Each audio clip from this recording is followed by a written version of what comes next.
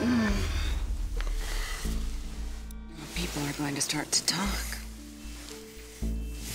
You don't think your employees are going to start to wonder what's going on when their boss is late for work every day? I think they're going to wonder why I'm smiling all the time, though.